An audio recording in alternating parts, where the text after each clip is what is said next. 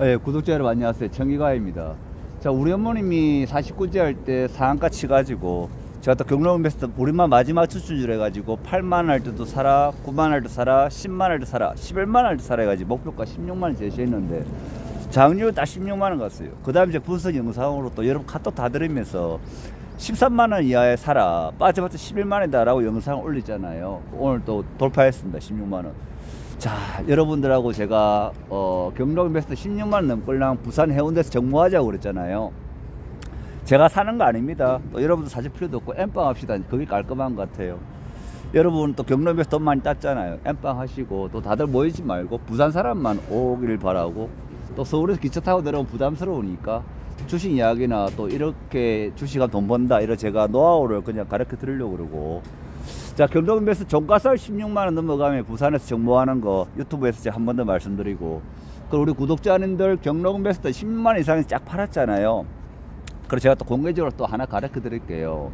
이거 단타 아니에요. 저도 사실은 최근에 고물 팔다가 남은 돈 가지고 단타 치가지고 8천만 원 벌고 1억 벌고 이러니까 아 너무 몸이 안 좋더라고요. 하루 만에 8천만 원, 8천만 땄다가 3천만 잃었다가 1억 땄다가 5천만 잃었다 하니까 아, 나 너무 스트레스고 몸이 너무너무 안 좋아요. 뭐 여러분은 잘 모를 거예요. 하루 1억 따면 기분 좋지. 1억 따면 마음이 콩쾅콩쾅해지고 또 계속 따느냐 이럴 때도 있어요. 3천만 원씩. 이게 이게 제가 또 커피를 좋아하고 테라를 좋아하고 제가 룸살로 이런 데 안 가고 마셔봤자 맥주 5만 원치밖에 안 마시고 술을 약해서 5만 원치 먹고 누자고 소소하게 살고 아침에 세수도 안 했고 뭐 이래서 하는데 하루 1억이 왔다리 갔다리 5천만이 갔다리 하니까 너무 스트레스 받더라고요. 그래서 제가 또 하나 매집하려고 그럽니다. 뭐냐면 이제 고물 장사는 따로 제가 설레버리나 포인트 모바일 계속 하고 있고 고물 팔다 남은 돈 있잖아요. 고물 팔아서 돈 번 거가 제가 단타를 한 번씩 치는데 저는 단타를 맨날 치니까 스트레스 받더라고요. 리딩하고 우리 구독자님들이나 우리 기법반 직장인반 제로지반 수익 내기 하는 게 보람이지 제가 단타 치고 하니까 안 되겠더라고요.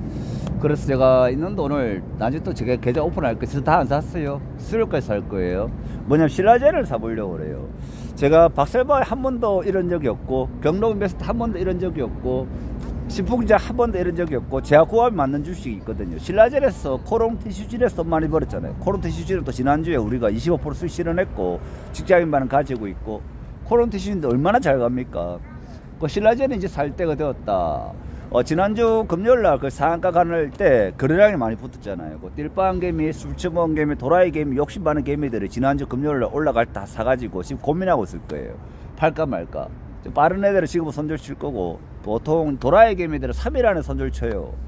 그래서 오늘 월요일이니까 수요일까지 제가 신라제를 한 3억에 4억 정도 사놓으려고 합니다. 목표가는 만 원 보고 기간은 길어봤자 음, 빠르면 세 달, 길면 6개월 안에 많은 거 알 것 같아요. 그 신라전도 많은 거 하걸라 제주식 딱 팔면서 또 그때도 정모합시다. 그때는 서울에서 합시다. 목동에서.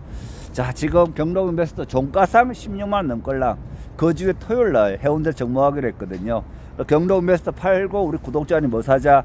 신라젠 사자. 단타 아닙니다. 이번 영상 여기까지.